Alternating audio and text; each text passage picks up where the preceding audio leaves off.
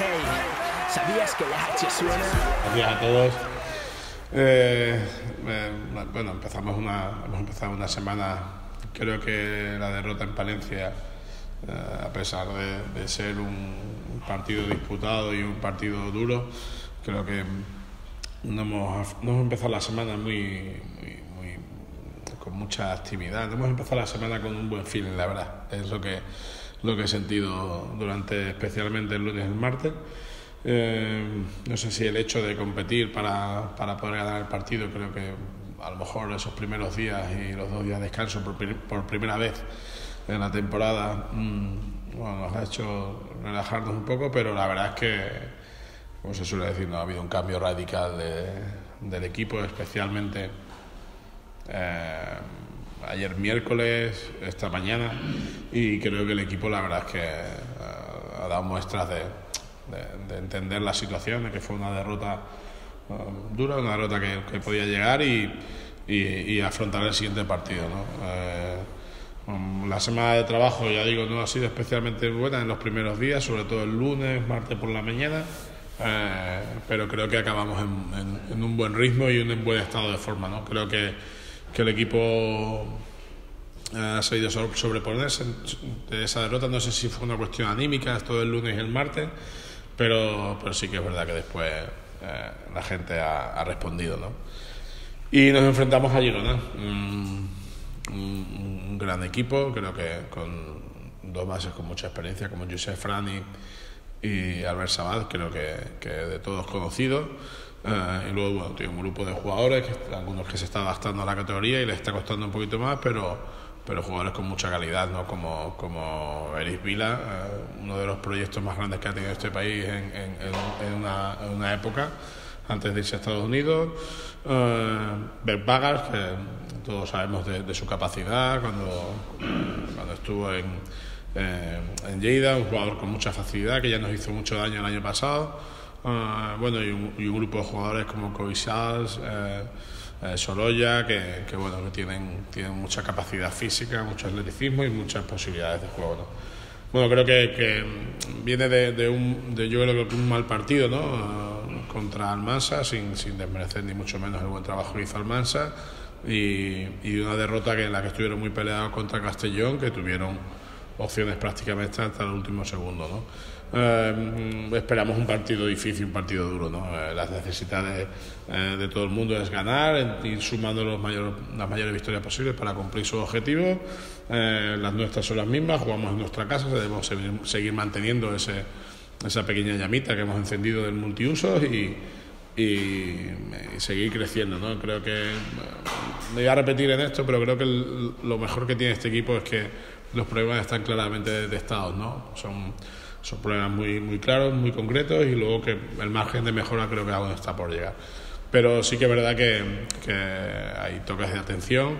Ah, porque creo que si solo nos conformamos con, con pelear en, en Palencia y eh, seremos un equipo vulgar como otro cualquiera. Y no tengo la sensación de que este equipo lo sea. Entonces, bueno, al final me quedo con ese final de semana que creo que, que está acorde con lo que la plantilla puede dar y, y esperemos mañana dar, dar un bonito espectáculo y que la victoria se quede en casa. ¿Con, con Manu Rodríguez sigue un poco la prudencia de no forzarle y tal? ¿O crees que está parado? Sí, eh, Manu está muy bien y el trabajo, el trabajo que ha hecho Sergio y Mario con él es excepcional, pero no voy a arriesgar lo más mínimo. Eh, creo que la disposición del equipo en cuanto a sensaciones y tal es la, adecuada para poder aguantar y no arriesgar. Eh, que la situación hubiese sido extrema en este partido, tengo claro que Manu hubiese jugado, eh, pero no, no, no voy a arriesgar. Creo que eh, tenemos una plantilla corta, pero tenemos que protegerla también. Y en este caso lo, lo vamos a hacer. Ha entrenado eh, Juan Santos fenomenal, ha entrenado Alex Trapote muy bien esta mañana, la verdad que muy contento. Y no son simplemente sparring, estarán ahí si, si se les necesita, pero no, no, no voy a arriesgar lo más mínimo. Vamos a protegerlo al máximo. ¿Qué tipo de partido induces mañana? Bueno, yo creo que, que Girona va a venir aquí con, pues bueno, como es su entrenador, ¿no? Eh, creo que Carles es un gran conocedor de la competición, que, que va a intentar sacar eh, el máximo rendimiento del equipo y que vendrán con, con, con muchas ganas de, de, de salir de, de, esa pequeña mini crisis que yo me imagino que, que, que verán, ¿no? Al final perder dos partidos en esta liga es lo más normal del mundo, pero eh, la victoria apremia. Yo creo que ellos van a, van a ser un equipo duro, tienen tiene, aparte de la experiencia de, de Sabad y de, y Franz, tienen, tienen jugadores con mucho potencial físico y, o, el propio hermano de Olaf Sastenar en cuanto a la anotación. ¿no?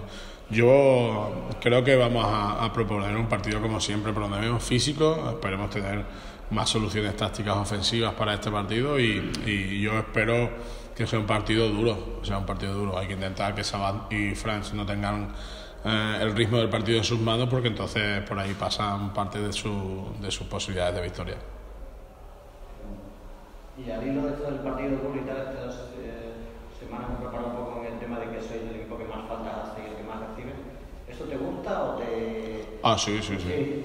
No, no... El hecho de que el partido...